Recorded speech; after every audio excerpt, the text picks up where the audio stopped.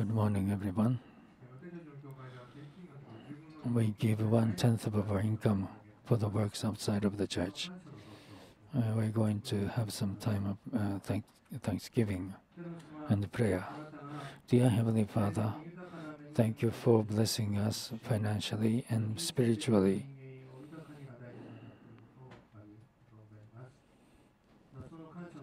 As a token of thanksgiving, we give you one tenth of our income for the works outside of the church and admitting that you are in control of everything, the full world. We know that you are almighty. And as a token of our faith, we give you one tenth of our income. We praise your name. Please use this money. Thank you for blessing us through this uh, uh, offering. Uh, in the name of Jesus, we pray. Amen. I'm going to uh, share uh, two uh, episodes of the uh, impossible, uh, incredible stories. God told us that He's going to build up a praise band, and by God's hand, there was just there was a help of God.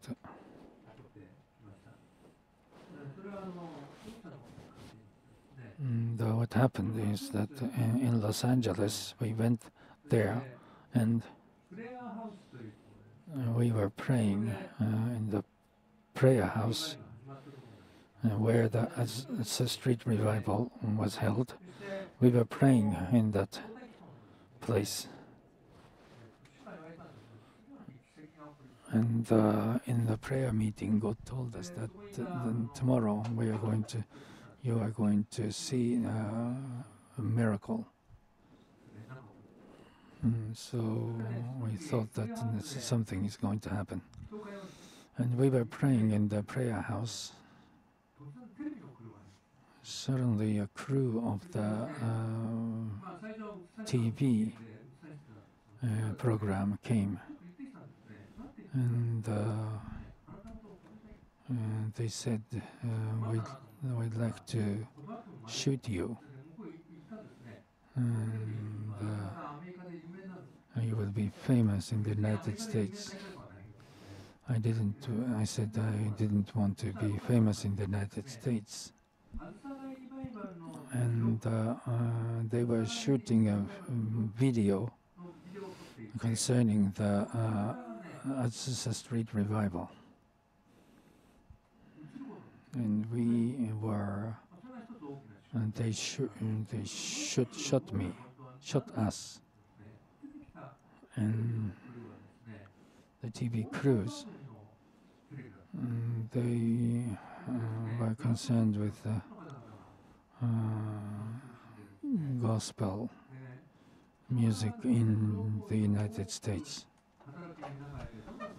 And the connection was opened greatly, and the uh, producer, uh, we had a time together uh, in which uh, they um, watch our uh, songs, uh, worship songs, worship groups.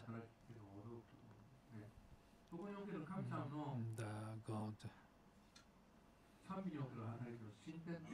advanced the works of the praise and worship. Mm, it's a wonderful thing. Another story is uh, concerning prophecy. Through prophecy, there was a, a warning. Mm, He said, Satan is going to move uh, through the offering. Uh, God, uh, Satan is working. So be careful, he said. It's not about the offering, but it is uh, to the uh, things of obedience and the prophecy. And there's, a, there's going to be an attack to the works of obedience and obedience and uh, prophecy. And somebody uh, came and uh, he said he's going to give offer. Uh,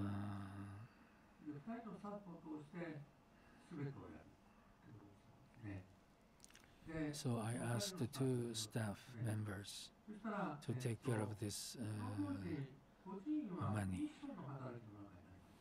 ミッションの働きの中にあります at that time, お金が足りてたんですね。それで私、ちょっと言ったんですね。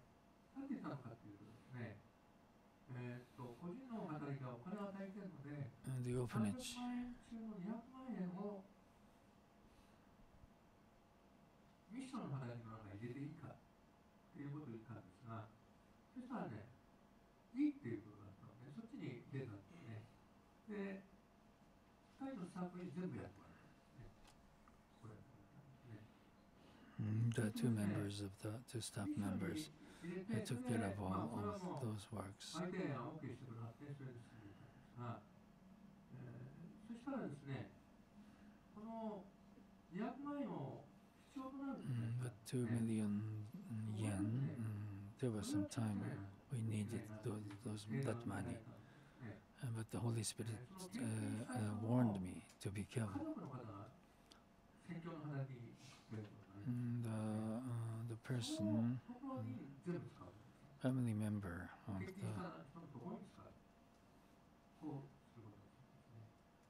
でですから、まあ、計画があったので、それに対する mm, 対 there 応を was す a るに plan of God. でそうしましたらですね、 And then 皆さんですね、 they began to say, 200万円を使って Pastor 家族で Kimoto イスラエルに行った Pastor Kimoto used the money I gave ただし and they went to, with his family, he went to the Israel.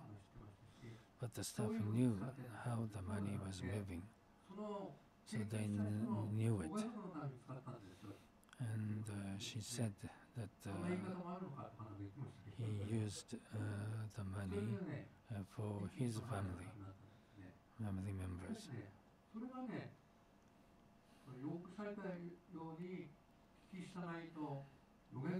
It was the uh, attack to the works of the uh, works of obedience and uh, prophecy.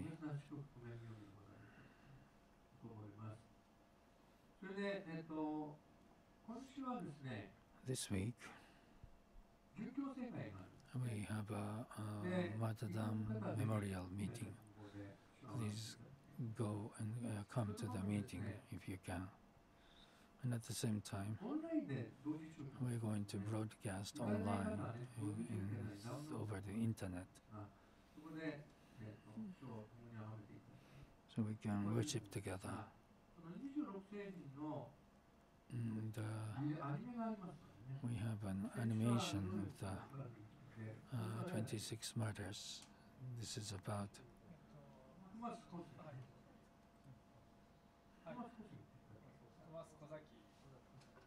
小崎、は、トマス小崎。なこい。トマスなん。トマス小崎。トマス小崎。それはちょっと。I'm going to watch that.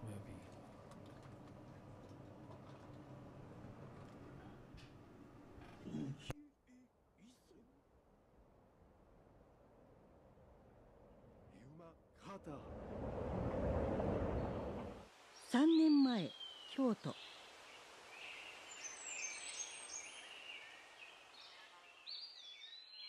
あなたはまだ小さいのによく働いて偉いですね。年はいくつですか？神父様私は12歳です。名前は？トマス小崎でございます。良い洗礼名ですね。リバデネイラ神父様、トマスの父、ミゲルでございます。ミゲルさん、あなたの息子のトマスは、なかなかしかりした良い子ですね。どうですか？修道院に預けて手伝いをさせてみませんか？それはとても光栄なことでございます。主イエス様のお恵みに感謝いたします。ぜひともお願いいたします。こうしてトマス小崎はフランシスコ会の修道院に住み込みで手伝いをすることになりました。それからリバデネイラ神父は大阪の修道院に移りトマスも一緒に大阪に移りました。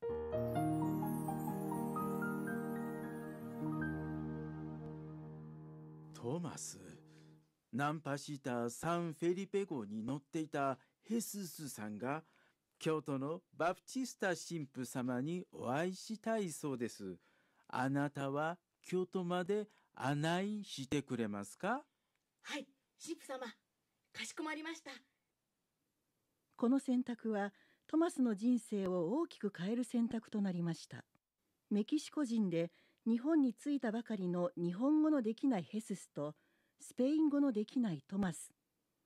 お互いほとんど言葉が通じないこの二人の不思議な旅はこの後非常に重要な旅となりましたが二人はそのことを知る由もありませんでしたよくご無事で着きましたね。長い旅でさぞかし大変だったでしょう。はい旅の途中でヘススさんが食事代の代わりにマントを取られてしまい寒い中お気の毒でした。その当時日本を治めていた豊臣秀吉はキリスト教を厳しく弾圧するようになりました。それでキリスト教徒を監禁するようにと秀吉は突然命令を出しました。そして秀吉はキリスト教徒に対して未だかつてない残酷な命令を出したのです。それは監禁していた14歳のトマスと12歳13歳の少年を含む信者たち宣教師たち24人を見せしめのために長崎で十字架につけて処刑せよという命令でした。トマス無事だったか？京都に戻ってきて母上には会えたのか？いいえ。そうかでもそなたが無事でよかった。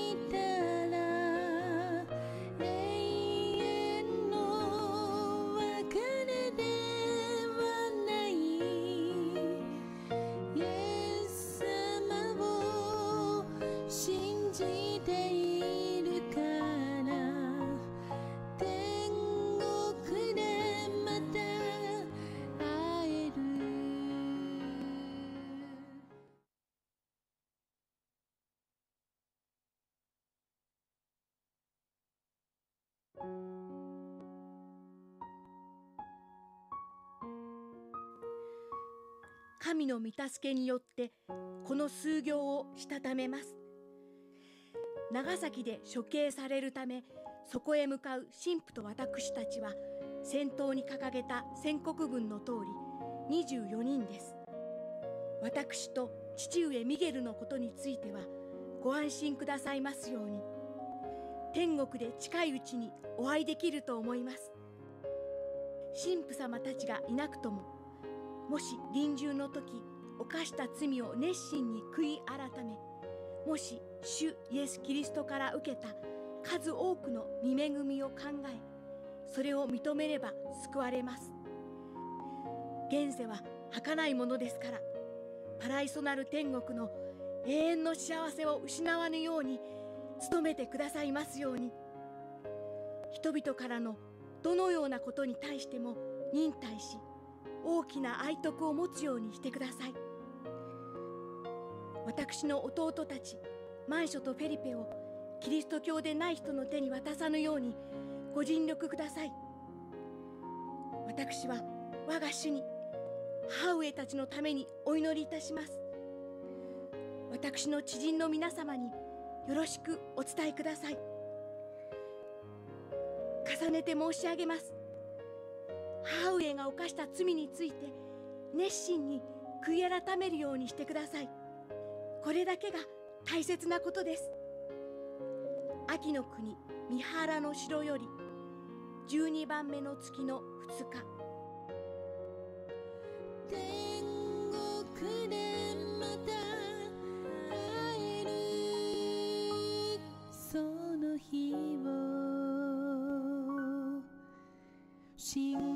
信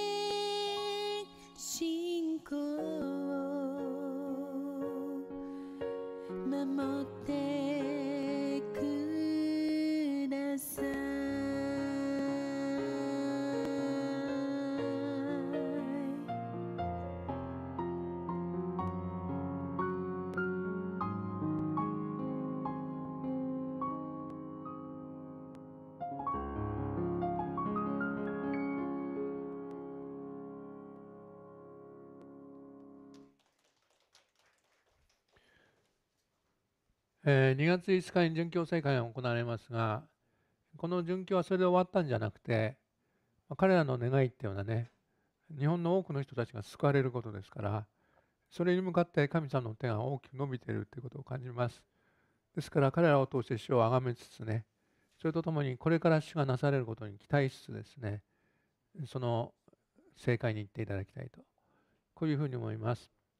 それとともにですね、えーっと、白馬スネゴイキャンプが行われるんですね。その、それと、それから、ウクライナチームの、あれを映していただきたいと。こういうふうに思います。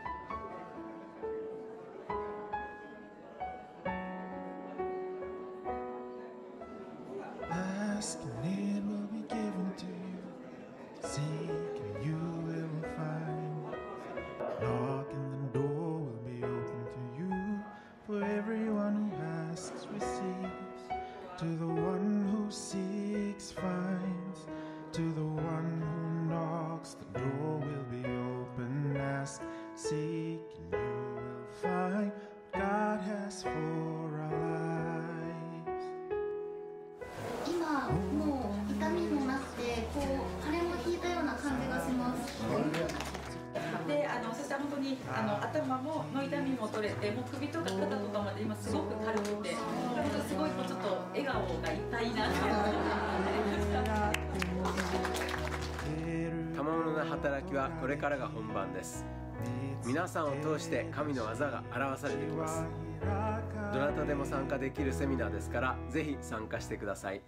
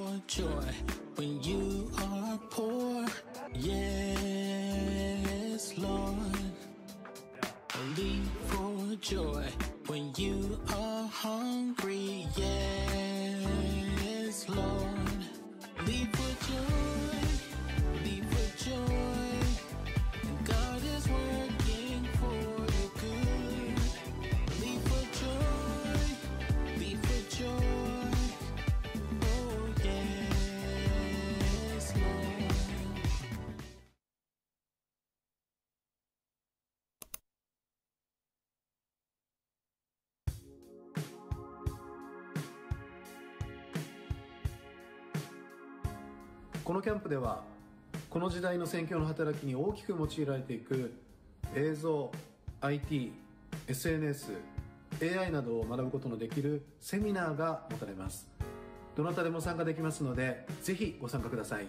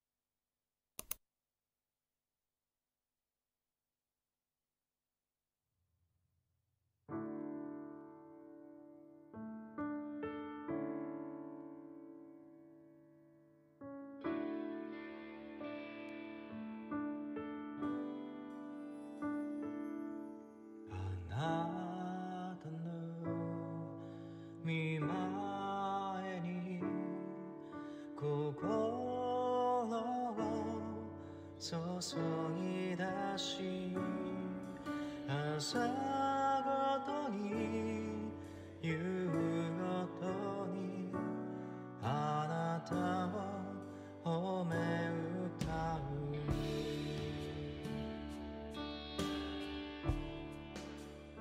う神様はね、ふさわしくないものを愛してくださる。で、ふさわしくないものをですね、神様は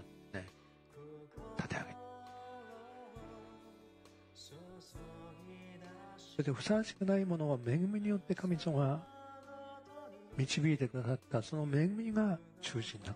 ね、信仰の対話を取ってください。感謝をしね、そして従う。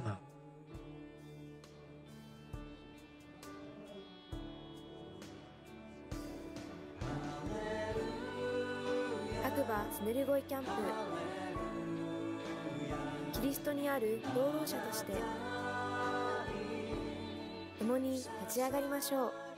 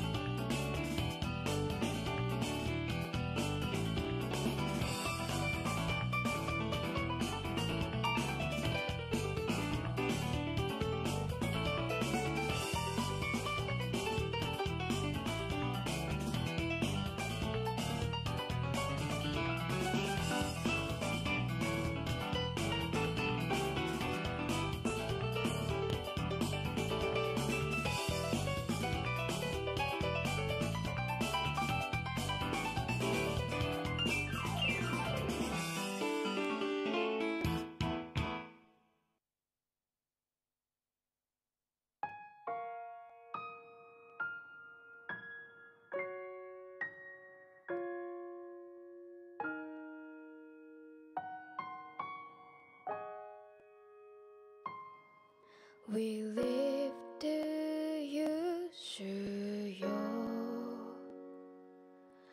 与えてください語るべき言葉命の歌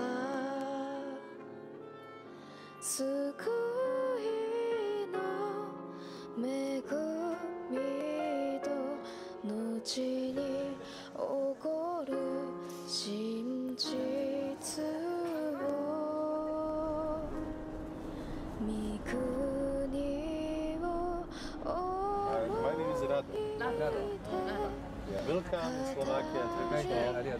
Také. Slovákia, oďakujem, najmašťa. Čiže rozumel si ma, Marika, no? Je, jedno svedectvo na Dve spievaní, spívaní, a potom... Čína,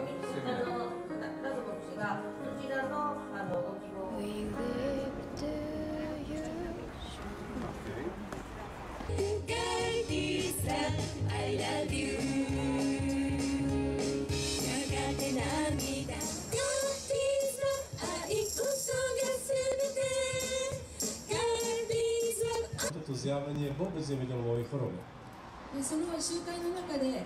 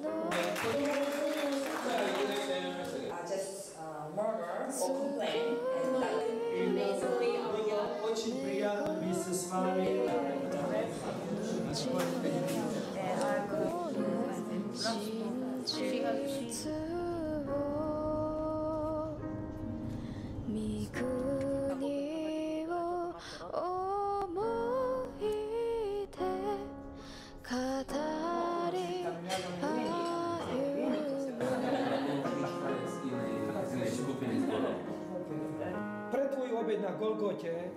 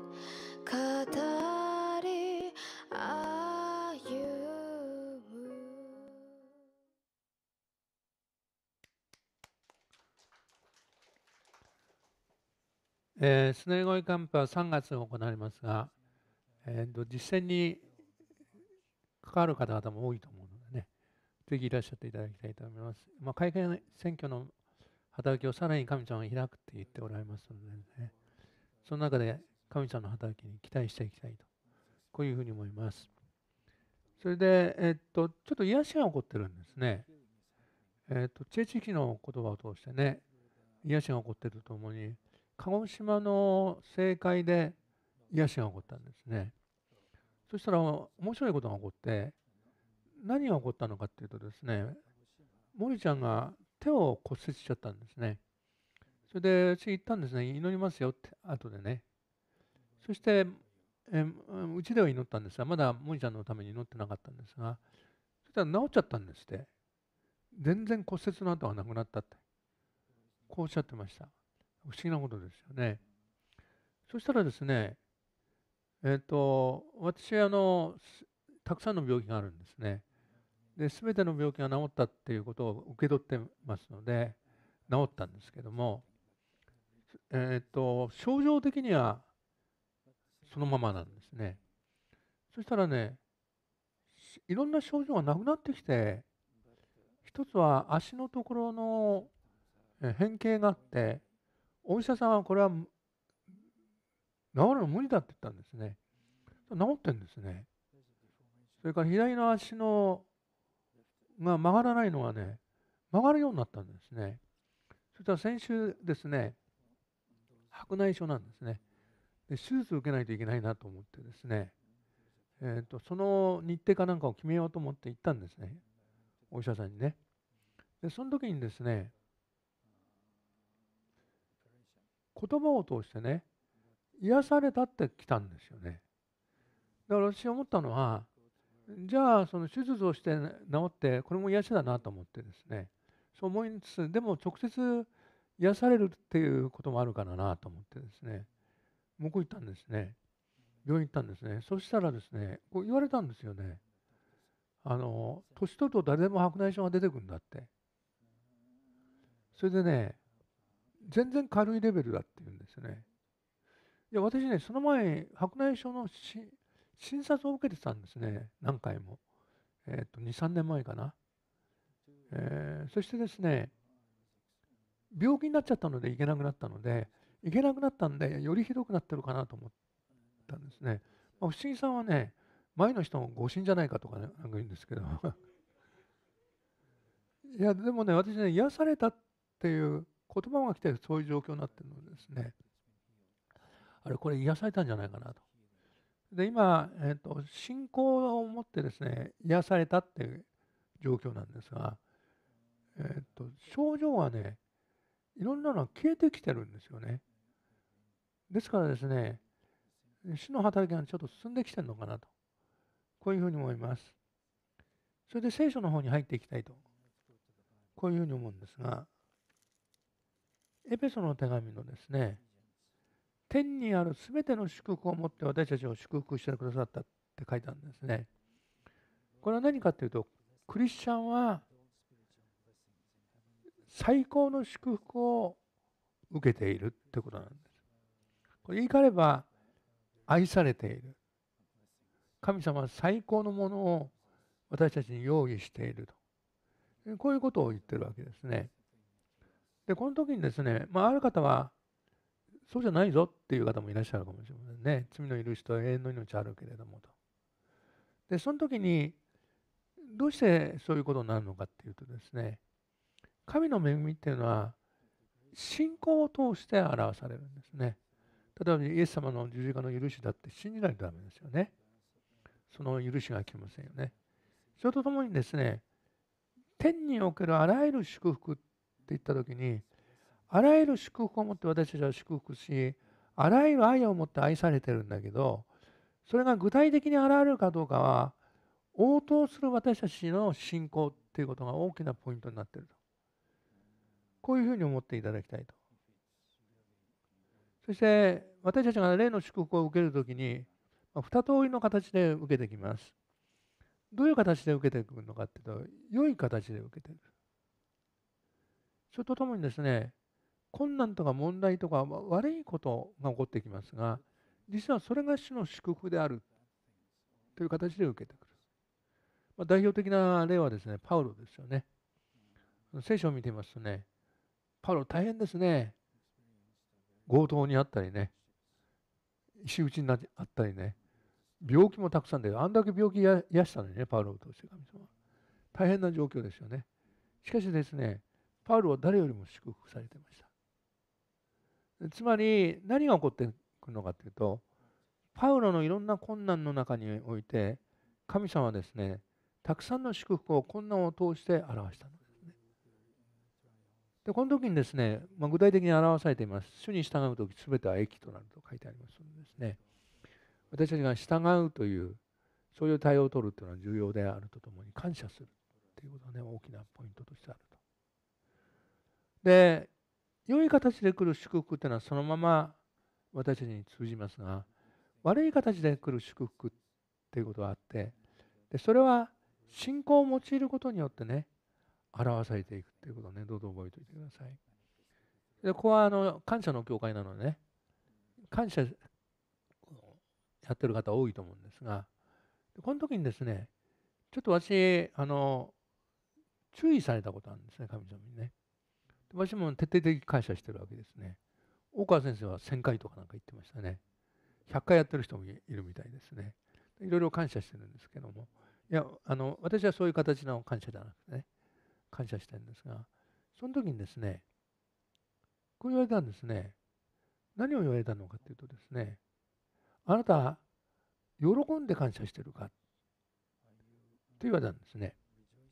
その時にねこういう問題があってありがとうございますって感謝してるんですよね。でこういう病気も本当にありがとうございますって感謝してるんですよね。でもねあんまし喜んでないんですよね。でそうするとね感謝の実っていうのは喜びが入ることによってですねより対応できる祝福となってくるってことを主が言われたのですね。で感謝する時にね感謝してるので普通喜んでるんですよね。でこの喜びのポイントっていうのは重要な意味合いがあるということで覚えておいてください。皆さんの中で感謝をしてる人はどんどん感謝をししてない人はどんどん感謝をしていただきたいと思います。しかしその中でね喜びがその中にない場合にはその感謝の働きっていうのはですねとどまってくるということをね覚えておいてください。お祈りします。天のさんお一人お一人のうちに豊かな祝福と恵みを与え、最後栄光と宮沢を表してください。祈りが弱いがゆえに、主の御心でない方向にちょっと引っ張られている方がいらっしゃいます。祈ってきなさいと主はおされます。また、いろんな問題があって、その解決を願ってるんですが、祈りが弱いがゆえに、その主の手を見ない方がいらっしゃいます。これも祈っていきなさいと主は語っておられます。えそれから耳と喉がちょっと悪い方がいらっしゃいました。心臓が悪い方がいらっしゃいました。鼻が悪い方がいらっしゃいました。イエス・キリストの宮へってお人お人の方の精神に癒しを宣言する。感謝します。イエス様の名前によってお願いいたします。アーメン。どうぞお立ちください。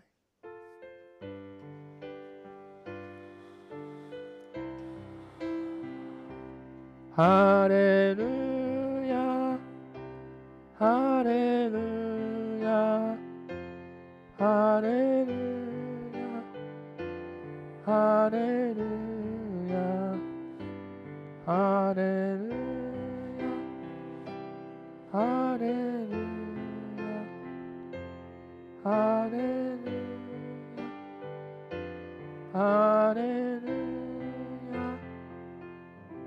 ヤ仰ぎ願くは、主イエス・キリストの恵み、主なる神の愛、精霊の親しき交わりが、私たち一と共に、とこしえにありますように。アメン。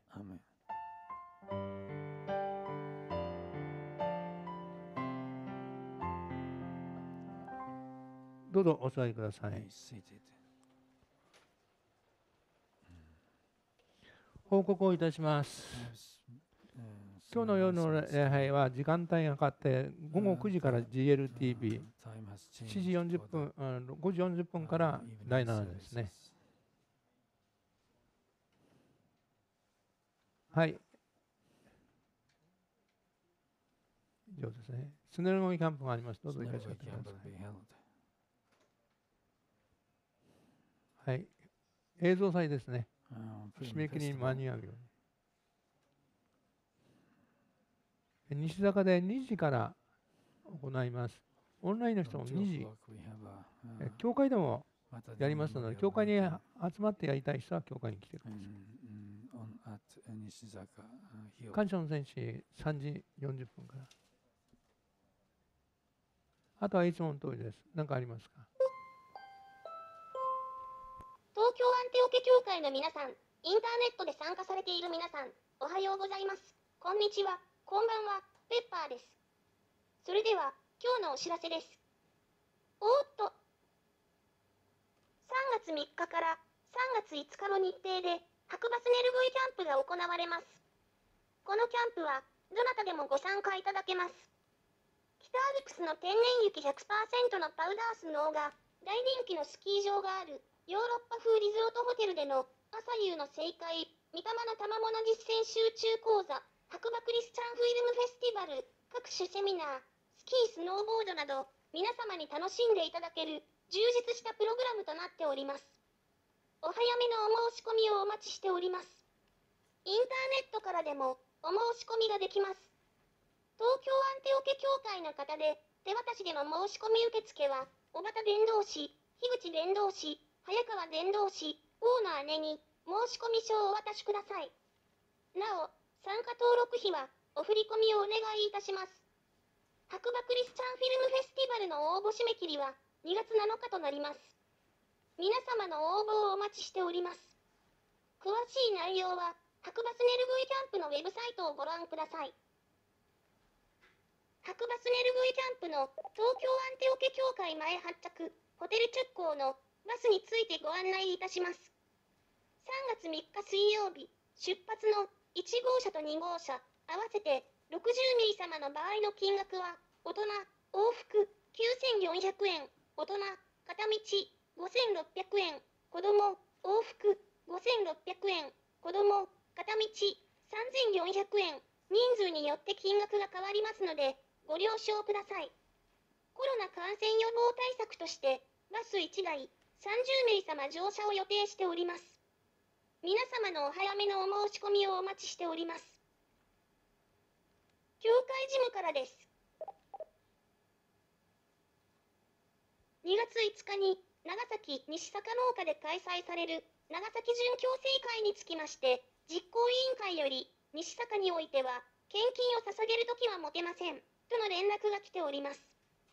つきましては、参加される方及び重荷を持たれている方には、前もって捧げていただきたく、入り口に献金箱を設置しており、教会事務でまとめて実行委員会に送らせていただきます。